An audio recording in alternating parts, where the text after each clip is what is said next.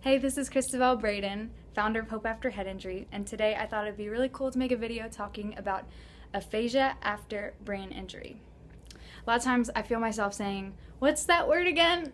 and I don't know if anybody else is in the same boat, um, but from a lot of the people that I've talked to who've had brain injury, aphasia seems fairly common.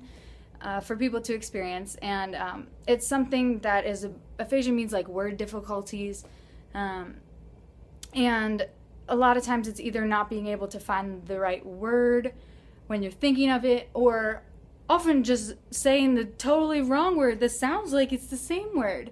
So uh, I can think of two examples that I had experienced this week of uh, saying the wrong word.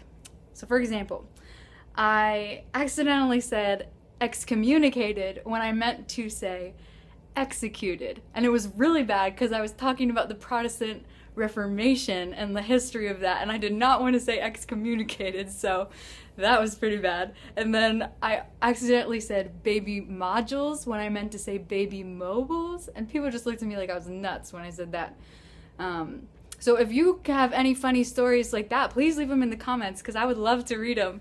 Uh, just know that you're not alone when you experience these kind of things because a lot of people have these issues and they're funny. We have to laugh at ourselves when we go through these things because, you know, there's nothing else we can do.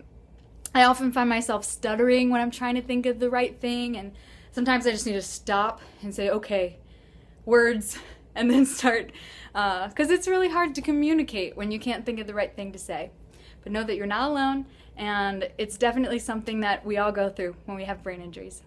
So, yeah, that's about it for today. Thanks. Bye. Can't wait to read your comments.